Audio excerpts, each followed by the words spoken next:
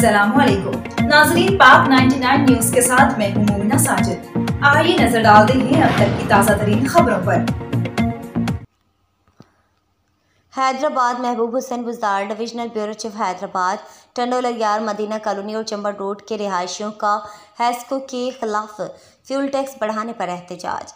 एहतजाज के दौरान राशिद अंसारी अवैस कश्मीरी, बिलाल जाकिर कायम खानी और रज़ा मलिक ने मीडिया से बात करते हुए कहा है कि गवर्नमेंट ने हम पर जो फ्यूल टैक्स लगाया है, इसे ख़त्म किया जाए। हमारे बिलों के अंदर पाँच पाँच हज़ार फ्यूल टैक्स लगाया जा रहा है। मदीना कॉलोनी और चंबल रोड पर जो बिल आए, सब पर फ्यूल टैक्स लगाया है। यहाँ सब मजदूर और दिहाड़ीदार हैं जो कमाते हैं, बिल भरने में लगा देते हैं। बच्चों को कहाँ से खिलाएँ? हम बिजली इस्तेमाल करते हैं, हम इसका ही बिल भरेंगे। फ्यूल टैक्स क्यों भरें? हमें ग्यारह रुपये का यूनिट मिल रहा है और हैस को हमें बीस रुपये यूनिट दे रही है। गरीब आदमी या तो बिल भर दे या अपने बच्चों का पेट। हमारी अला हुकाम से पुरजोर अपील है कि बिलों से फ्यूल टैक्स ख़त्म किया जाए। हम गरीबों, दिहाड़ीदार को जीने दिया जाए। अभी मजदूर लोग हैं, इंसान कहाँ से बढ़ता है सिंध क्लब पे बोले एहतजाज करेंगे? सिंध क्लब पे एतराज़ करेंगे? एहतजाज नहीं एहतजाज रोकिए इसको रोकिए। जी।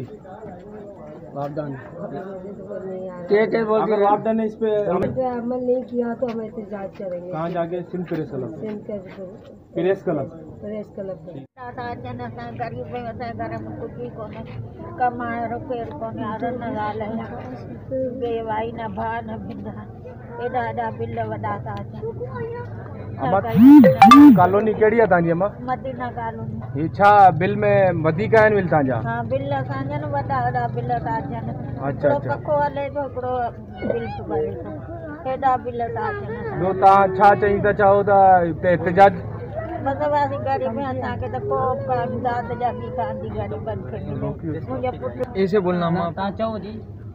हा एक बंदा पीछे से बोले। हमारे को पहले चूतिया बनाते रहिए कि आपको मिनिस्टर है या गवर्नर है जो भी हमारे को रिलीफ दिया जा रहा है रिलीफ दिया जा रहा है किस चीज़ का रिलीफ दिया जा रहा है हमारे को?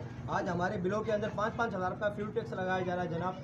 हमने यहाँ पे बिल अदा भी किए मदीना कॉलोनी चंबर रोड यहाँ पर इतने बिल आए हैं कि सब माशाल्लाह मजदूर हैं सब कमाने वाले हैं दिहाड़ी मजदूर हैं इन लोग की जितना कमा रहे हैं, उससे ज़्यादा इन्होंने बिल अदा कर दिया तेरह तेरह हज़ार रुपये यहाँ पे गरीबों को बिल दिया जा रहा है। ये बोले फ्यूल टैक्स फ्यूल टैक्स हम किस तरह अदा करें? अभी हमारे को बताया जा रहा है कि फ्यूल टैक्स के पैसे आपको देने अब हमारे को ये मुतालबा है कि फ्यूल टैक्स के हम पैसे क्यों दें? हम बिजली